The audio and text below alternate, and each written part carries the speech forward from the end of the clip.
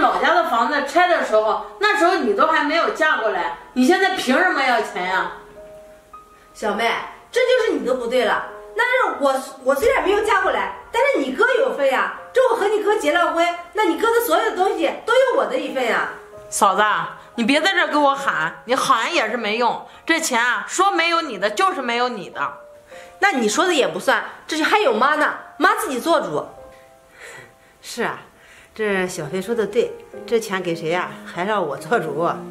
那让妈做主，妈肯定向着我的呀，毕竟我才是亲闺女，儿媳妇啊都是一个外人，是吧妈？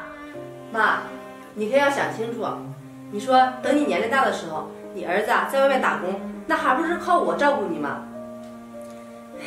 小飞，用不着啊，到时候啊你照顾妈。就是，她是我妈呢，我这个亲闺女，等她老了，我能不管她吗？用不着你。闺女啊，你说的对，哎，这妈的后半生啊，都指望你了啊！这个钱呀，给你，谢谢妈。妈，你可想好了，你真的把钱全部给妹妹自己啊？是啊，这人家都说嘛，这儿媳妇啊再亲，她也不是自己的亲生闺女是吧？这再好也是靠不住的。这要是真正伺候我呀，知道疼我呀，还是自己的闺女。行，妈，你就这样想，那你以后也不要来找我。哎，不找就不找，有什么了不起的？妈，你还有我呢。好好。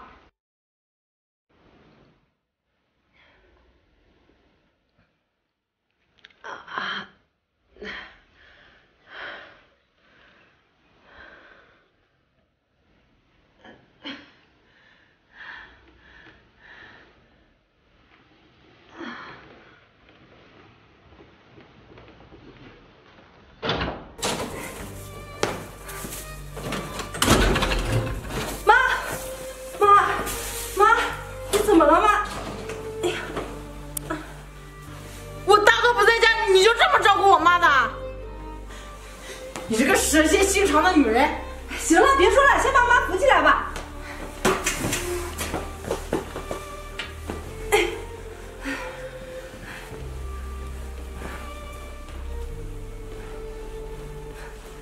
你干嘛呀？你小的时候，妈把你拉屎尿尿的时候，可没有嫌弃你，也没有捂着鼻子。你现在怎么了？你现在就开始嫌弃妈了？不是，我家里面做着饭呢。这手刚刚洗的，不方便，不方便，不方便，你来干嘛？你是不是来看看家里面有什么东西，又想拿走啊？你看看吧，反正家里面也没有什么东西，能拿的都拿走吧。我是因为我大哥不在家，我过来看看某人有没有虐待我妈。你现在看到了吧，妈，这就是你口中所说的好女儿。你当初把你所有的钱都给了他。还说到老的时候指望他养活你呢。现在妈生病了，你把妈接走到你家住几天吧。嫂子，你说这话就不对了啊！他有儿子有儿媳妇，凭什么让我接回去啊？再说了，嫁出去的姑娘泼出去的水，我把她接回去，那我婆婆能同意吗？你呀，还是好好照顾我妈。我走了。哎，妈。这就是你的好闺女，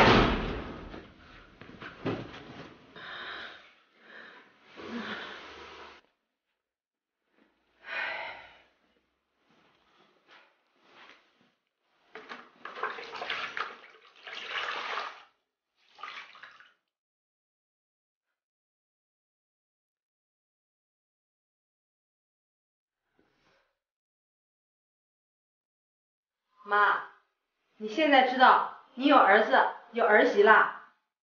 十年前，你把你所有的积蓄都给了你女儿，你知道这些年我们过得有多苦吗？妈，你儿子照顾你那是本分，我现在伺候你这叫情分。但凡十年前你能对我好一点点，现在哪怕我累死，我也心甘情愿。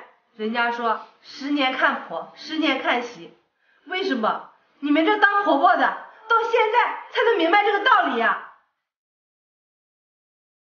行了，事情已经这样了，以后啊，我也会好好照顾你的。